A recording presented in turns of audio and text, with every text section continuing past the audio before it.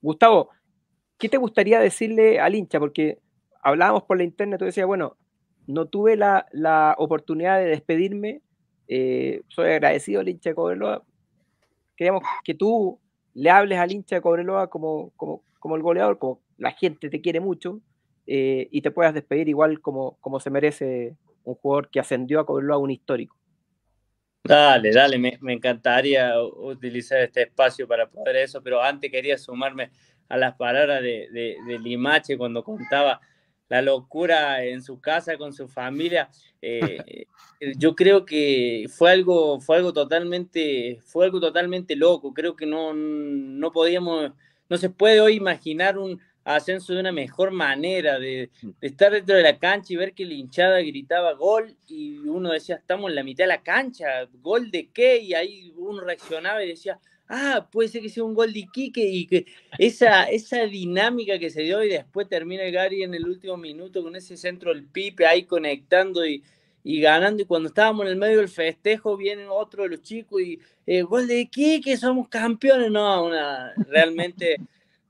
lo digo ahora y, y uno, uno se emociona, así que bueno, eso nomás quería sumarme a que a que dentro, fuera de la cancha, ahí como decía Limache, fue, una locura, fue una locura realmente hermosa y que no,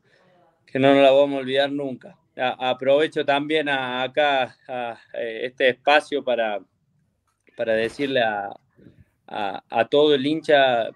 que en aquel enero de este año cuando yo vine yo sabía que venía un grande por lo que por lo que por lo que conlleva Cobreloa por su historia por lo que me comentaba eh, toda la gente sobre Cobreloa. Yo sabía que venía un grande, pero realmente cuando llegué acá me di cuenta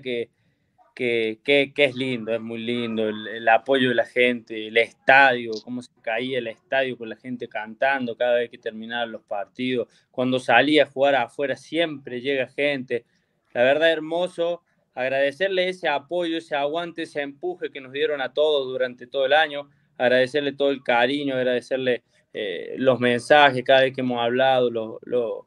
la gente, nada, no tengo más que palabras que gracias, me, llevo un momento realmente, un año realmente hermoso y, y, y feliz, feliz, feliz de que, de que Cobreloa vuelva a primera y, y, y vuelva a ser eh, el grande ese que, que siempre lo fue. Así que contento, contento y agradecer, simplemente agradecer.